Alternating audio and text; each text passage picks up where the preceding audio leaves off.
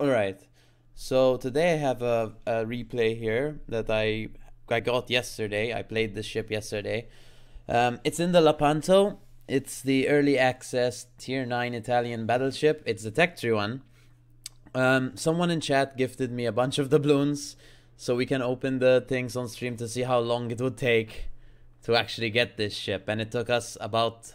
Well, I already had tried it 10 times, but it took us 13 times from the donations from the guy in chat. So thank you, Solitary Stalker, again for giving us this ship. Um, he also gave us, I mean, Veneto because of it. So we we also play that. I'll feature the Veneto tomorrow. But anyway, Lepanto. What is it like? Um, hmm.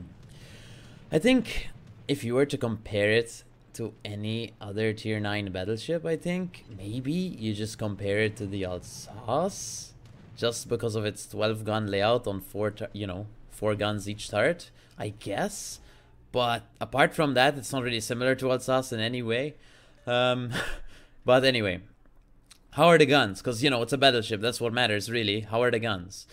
Um, let's see. There, the dispersion on these guns can be really, really bad. But, thing is, your alpha damage is so high with the sap that, for the most part, it doesn't really matter sometimes. Like, look, we landed three shells there and we got 9k damage on an angled Massachusetts, right?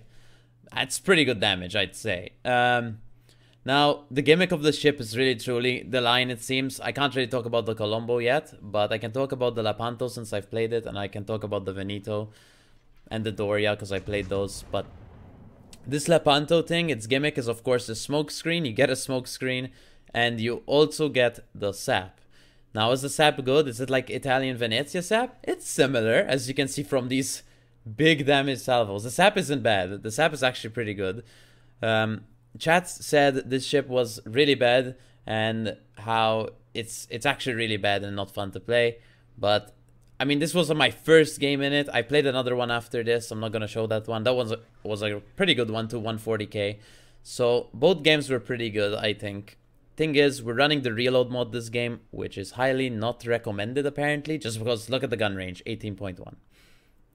18.1 kilometer gun range on a tier 9 battleship is not good. Um, that's that's basically cruiser gun range at this tier, and the only way to buff it up is either putting the range mod on, which I did second game, um, which actually the second game I actually needed the the reload mod because I was in range the entire time, or you could you know um, get the spotter plane, which I have. That increases your range um, by a, you know by an amount for an amount of time. Or um, if you put Sansonetti on the ship, which I did, when you get your first kill, your gun range will also increase. So Sansonetti is a really strong captain for the Italian battleships because your gun range will increase. I honestly think from the two games I've played, I'd rather be running the reload mod on this thing. Um, just because I know the gun range is so limiting, but I don't know. It seems like I've been able to stay in that gun range for the most part for the most games, but I mean, I'm gonna play it a bit more today and on stream, and I'll determine if if you have to have the range mod by force. But so far, the reload mod has been the thing for me um, that I've been using and should be using so far. Because even in the second game where I used range mod, there was not a single shot I did where I needed the range mod at all. Uh, but yeah. Anyway. So is the sap good? Yeah, it's oh, it's good. I mean, it's like it's like Venezia, right? It's not maybe as good as Venezia because Venezia gets 15 shells and this gets 12. Plus, the the dispersion on Venezia allows it to hit most of its shells, but still, you get really high alpha sap. You can pen superstructures or 30. I mean, any 32 or I think I think the sap pen goes up to 96, which is really good. So if like a Kremlin's broadside, I mean, normally on broadsides, you still shoot the AP because you might get citadels. But if you cannot get a citadel, literally can't, I think the SAP is just, just better. But anyway, um, do you pen destroyers with this SAP? Um, no. You When you hit an SAP shell on a destroyer, you will get overpen damage of the SAP. So it's like it's basically like shooting at it with AP, just slightly higher damage, right? But yeah, so don't expect any one shots like Venezia does, alright? But anyway.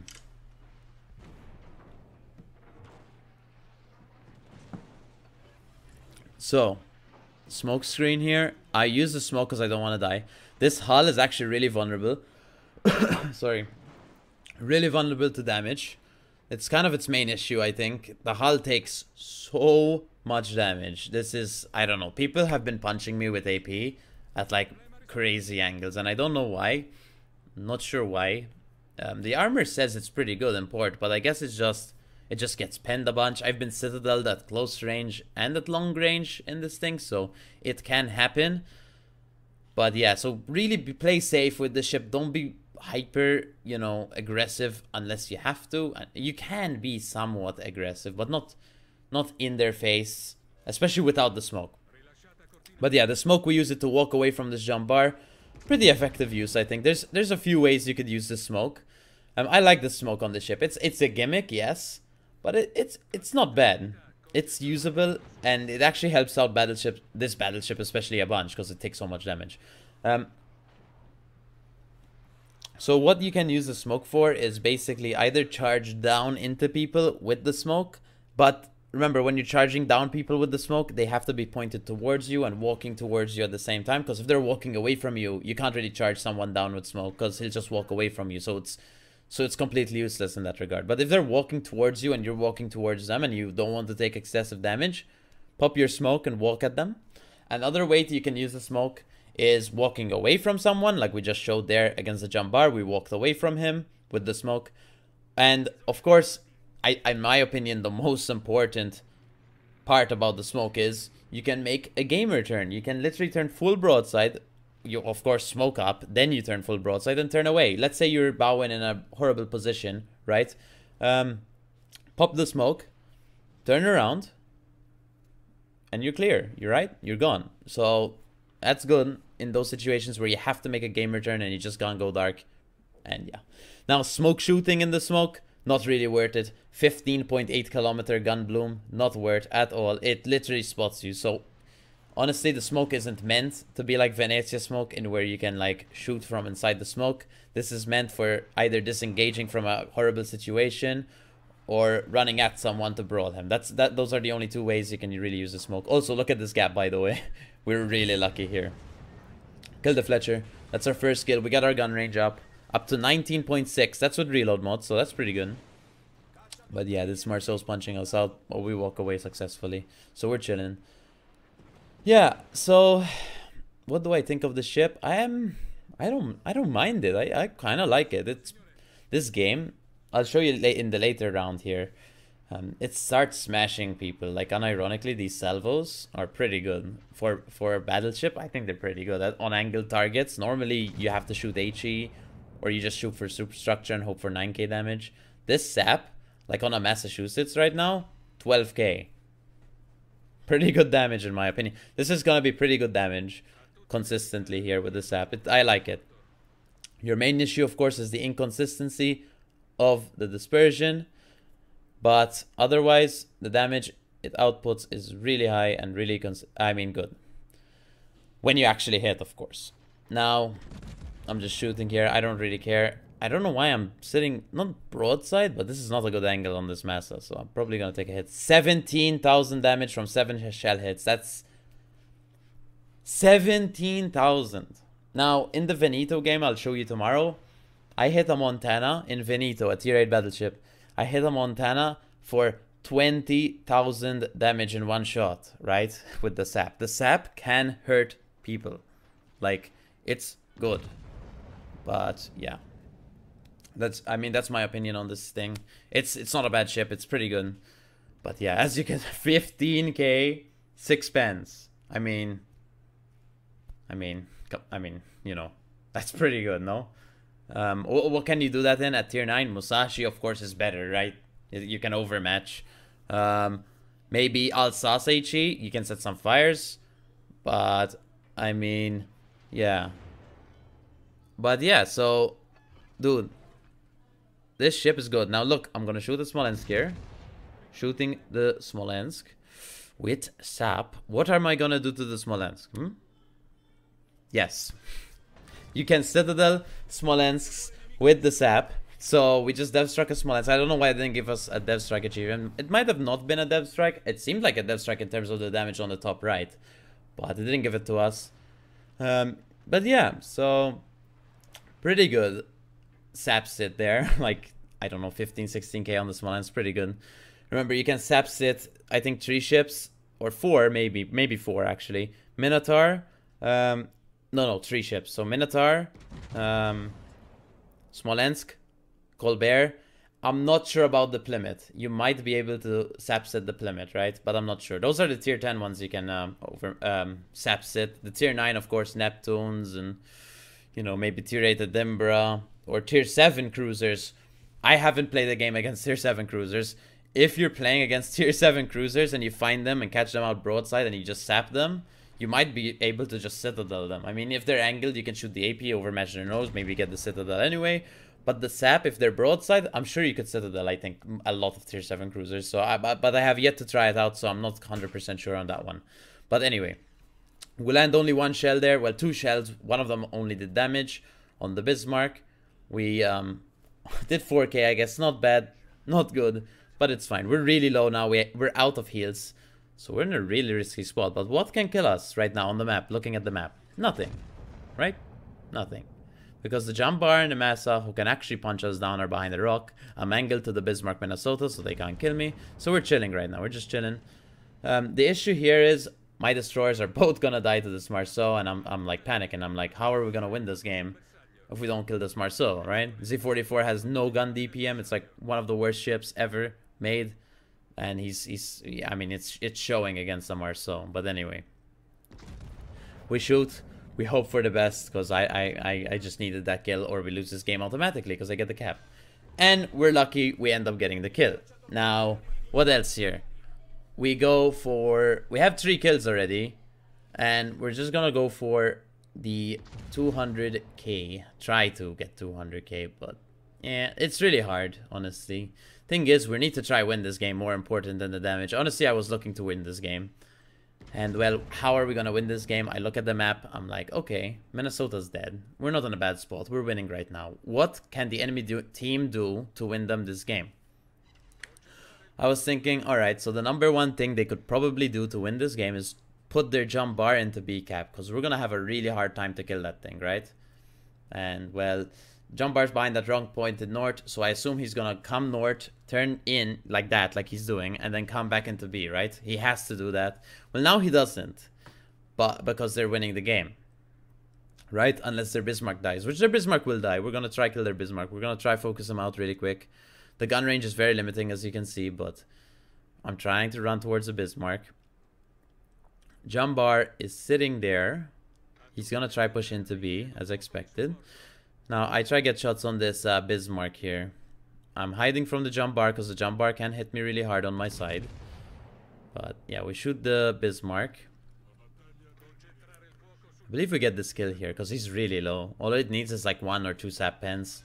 But we get three sap pens somehow. But yeah, we kill it. We're winning again, so we're chilling. Our Cleveland's really low, low though, and they're gonna contest B. When they contest B, we, we start losing the game. So we have to kill the Jean Bart before, uh, by force. Um, so I'm gonna walk away as much as I possibly can.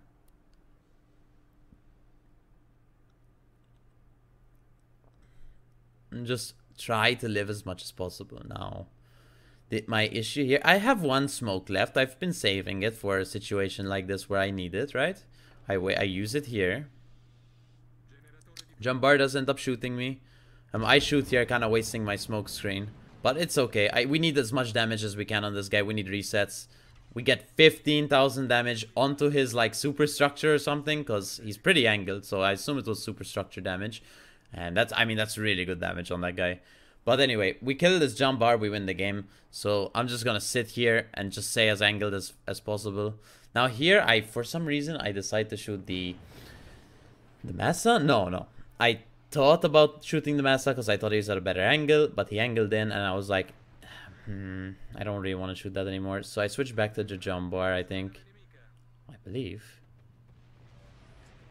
I really wanted to shoot the Massa, man. I really did because I thought I could finish him off. But the Jean Bart got lowered down, so we're just gonna try finish him off here. 12k, that should be okay, maybe finishable. Six pens and kill. This sap is pretty good, guys. The damage it can do is really, really, really good. And we got we ended up getting here 187k damage already in 5 kills.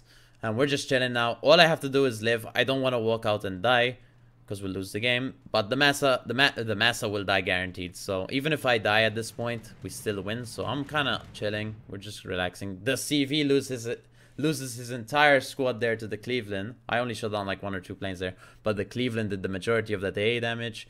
He loses all his planes. Wonderful. And I'm just gonna chill here. I mean, nothing much else to do. Really and truly. maybe get one more shot on the Massa. Maybe try finish him off. Maybe try get six kills. But it's gonna be really difficult because there's this rock in the way now. And well, I'm 2k HP, so he shoots me once I die. But yeah. He's contesting B, but it's kind of too late now because we gained the points that we needed. And well, contesting B at this point, not it doesn't matter. Like, if he's not gonna get it though, it doesn't matter. Like, at least he's trying to do something here, but I think the game's very much over. We have so many ships compared to their team. He's kind of isolated. Uh, their CV is off the screen, so he's not really in a position to support him. So, yeah. I believe I might die here. Maybe not, actually. But yeah. And that's the game. So for score screen, one personal score, we ended up getting 196,000 damage and we got 5 kills. So that's pretty good. That's a pretty good game. 99 shell hits for almost 200k. That's pretty good. Sap alpha is actually pretty high. And when you actually get the pens, you will get the damage. But anyway, we got 3 achievements. We got Dreadnought. We got Kraken Unleashed. And we got High Caliber. So that's a pretty good game for the first game in uh, Lepanto. For team score, we ended up getting 2.5k base XP. That's 600 almost base XP over second place. So that's pretty good. I think that's a pretty good game, guys. 11 playing kills, whatever. We had a really good game here, and we won the game. So I, I think this ship is pretty good. Again, like, I don't know what to say about this game. I mean, would I have done better in any other battleship? Possibly. But this is the battleship I played, and I did well in it. So there you go. So for detailed report, we got 196k damage, of course, as we talked about earlier. Damage received 124,000. But where did we distribute our damage? On what targets?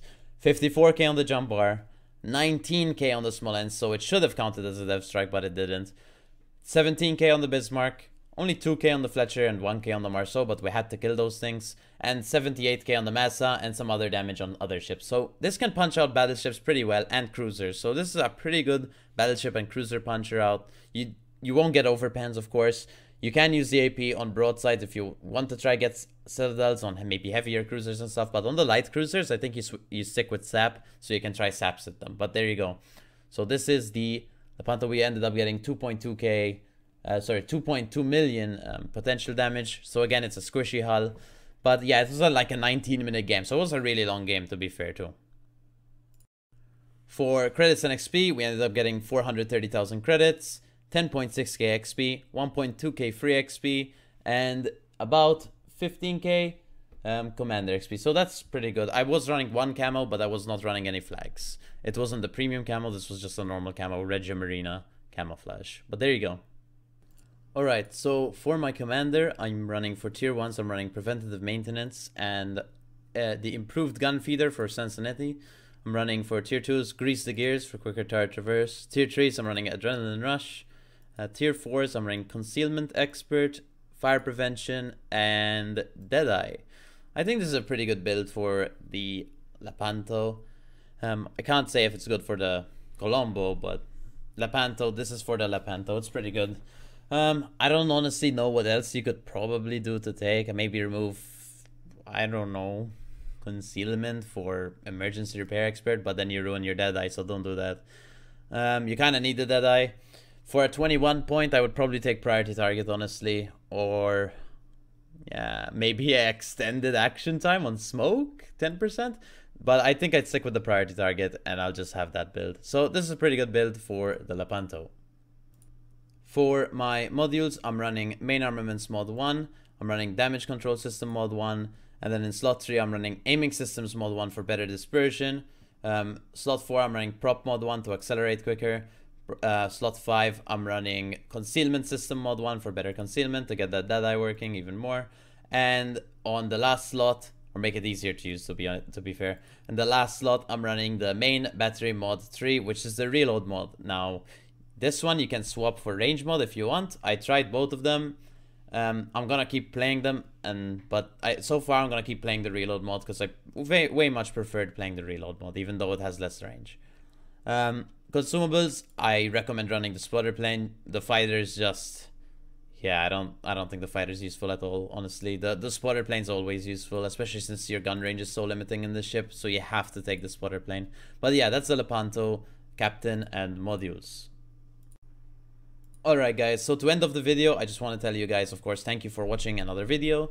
Um, thank you for supporting me on Twitch. We have a week-long week-long giveaways this week. Today we're going to give away the tier 8. I'm, up I'm uploading this right before I stream. So if you're watching this, come over to the stream and, you know, say hi or whatever. And we'll be doing a giveaway probably for an Atago later on. But yeah, so this is the Lepanto. I, I really like the ship and I'm going to play it a bit more. Maybe I won't like this ship after I play it more. But I like it so far. Played two games in it. They were both really good games. Um, I think reload mod worked fine in first game. Range mod wasn't really a requirement in second game. It could be a requirement in certain games though. But I think I'm gonna stick with the reload mod. But yeah, that's the Lepanto. Um, thank you guys for watching this video. I hope you enjoyed the early access Lepanto. Um, I'm really happy I got the ship. Thank you to Solitary Stalker again for donating the ship to me so we can play it on stream. But yeah, I'll see you guys in the next video uh, or on stream or on the Discord. Please do join the Discord. We reached a thousand members there too, so wow, we're just breaking milestones at this point, guys. Thank you so much for all the support. But yeah, I'll see you guys in the next video. Big fan, by the way.